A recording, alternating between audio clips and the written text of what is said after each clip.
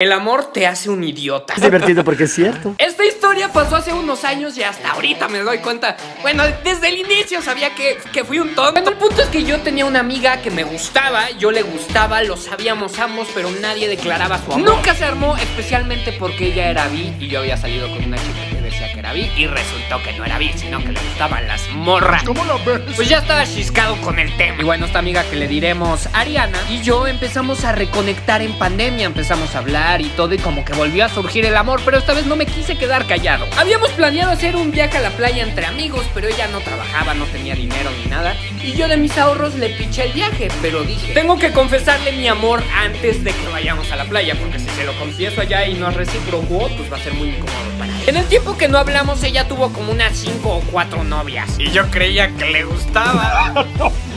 Claro que no. Pero por un viaje gratis cualquiera te dice que sí. Va a doler. Uy, la historia de la morra que me gustaba y la invité a un viaje a la playa. Habíamos planeado un viaje a la playa entre amigos para el año nuevo. Y yo lo pagué todo porque ella me dijo, no tengo dinero, pero después yo te lo compenso con un viaje al bosque.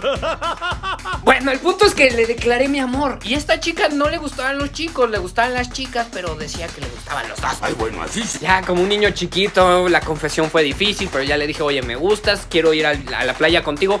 Pero pues no quiero que sea incómodo. Entonces, si no te gustó, lo mejor sería que no vayas a la playa. A lo que ella me dijo. Ay, ¿cómo crees? Pues puedo fingir que me gustas durante un mes para ir a la playa gratis. no es cierto, tú me gustas también.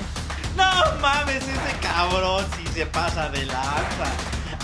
No, yo ya estaba enculado, realidad. Eran de esas morras que decían que eran brujas, que les gustaba el horóscopo. Me ponía a, a ver su horóscopo si éramos compatibles, qué día nacía, qué ¿No les ha pasado que salen con alguien y sienten que le dan asco a esa persona? Y bueno, empecé a salir con esta chica que sí mostraba interés por mí, pero había algo raro. Y ahí aprendí una gran lección. Amigos, si les gusta una chica, jamás, jamás se muestren vulnerables. ¡Jamás!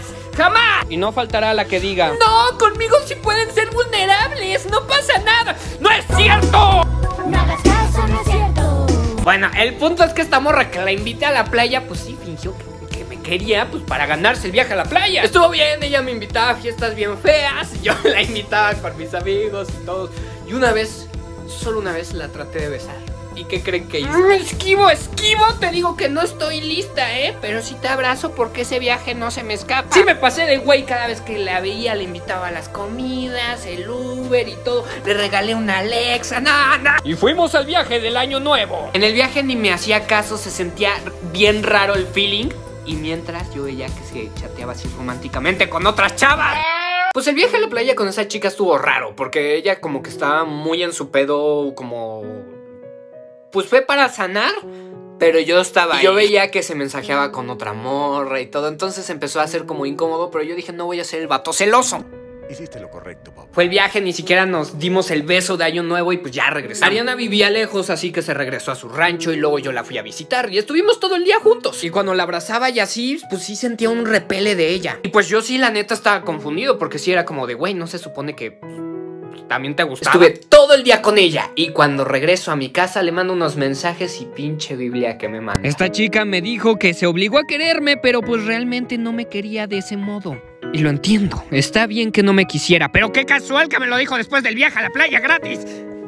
Y me dijo, mejor hay que quedar como amigos. Tienes muy buenos amigos. Mis mejores amigos. Al siguiente día salió con su ex y dos semanas después ella tenía nueva novia.